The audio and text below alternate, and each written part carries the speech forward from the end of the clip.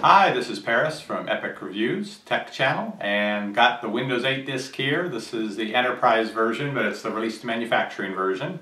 Going to install it on the laptop here with the new Vertex 4 and see how long that takes. I've already done this with uh, Windows 7 and we've got those numbers in of the installation time and the um, boot up time. So let me zoom in here on what I'm doing. This disk in.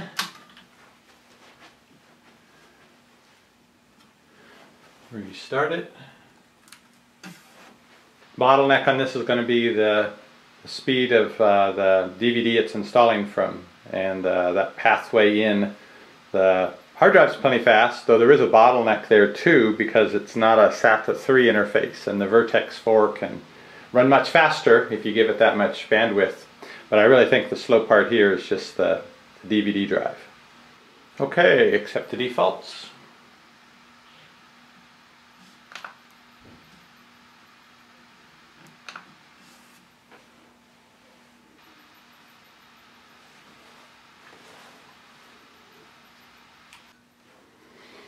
All right, agree to this. I'm going to do the customs install because it's a empty hard drive. I ran um, secure erase on it, so it's starting out completely new, no partitions, no anything. Here we go. Let's see how long this takes.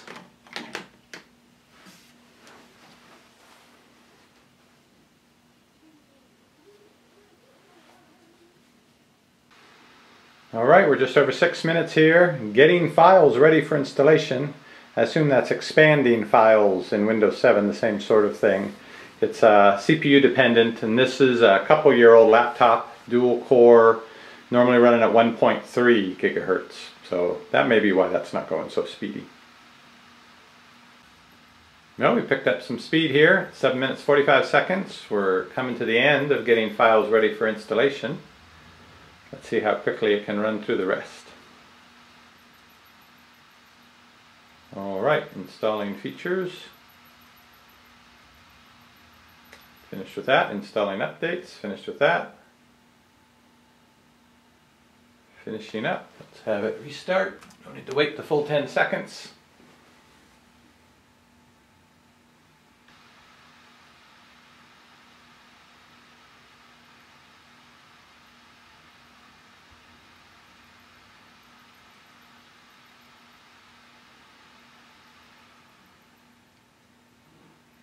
Should still have to create a user account and give the computer a name. Might want to test the video performance. Windows 7 always did that.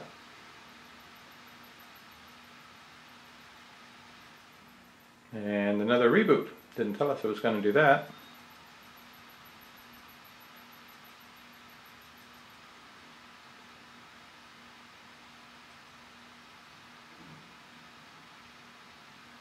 Well, it's just teasing us now. There goes 10 minutes. Aha. Find a color you well I'd say this is about the point where we said the Windows 7 installation finished so I'm going to call it at about 10 minutes as opposed to 14 minutes for the Windows 7 installation to get to this point which is the point where you could put in the username and so forth. PC name we'll call it Win8 I don't know what color. There green. Wireless We'll tell it to connect later. Um, about automatically getting updates, protect your PC. Oh, do not track, the new Internet Explorer feature to keep those beacons and cookies from following you around. All right, we'll tell it to use all that stuff. Now, use your favorite email address as a Microsoft account to sign into Windows. Well, everybody does have one. What if you don't want to give it to them? Oh, here we go. Sign in without a Microsoft account. Or maybe that we don't need to sign in at all. Let's see. No, we got to do something. Sign in without a Microsoft account.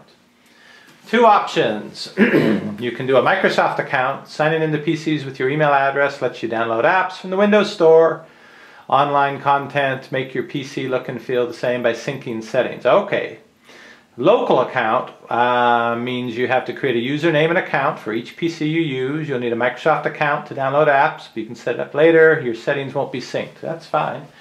Just looking for basic user account. Will be Bob. I wonder if we can do it without any password. Yeah. Well, that certainly did take longer than Windows 7. More stuff you got to tell them about there. Hi. Oh, not done yet.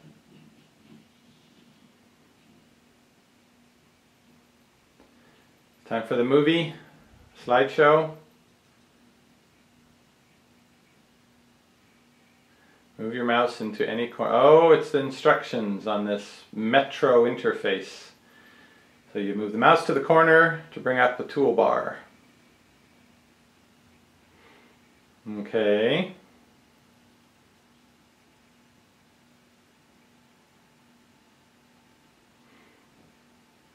Well, there we go. There's the tiles.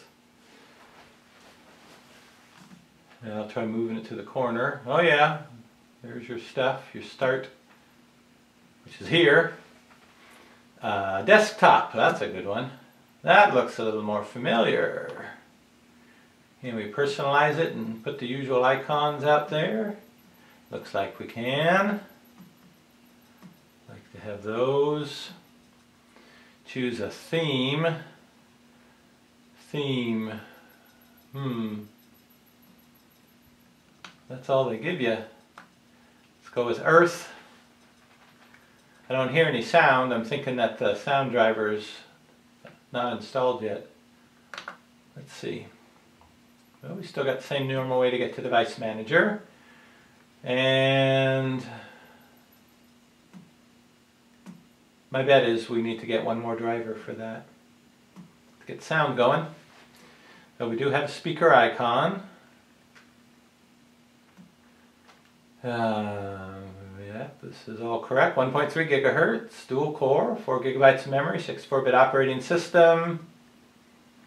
Well, that looks pretty similar to Windows 7. I like that. Start menu. No start menu. We've got Internet Explorer and the,